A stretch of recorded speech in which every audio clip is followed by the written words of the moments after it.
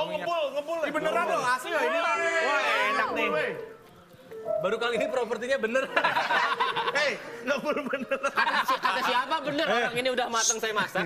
Eh, Pak, Mas. Apa? Ini? WIB loh, studio. Jangan dibikin.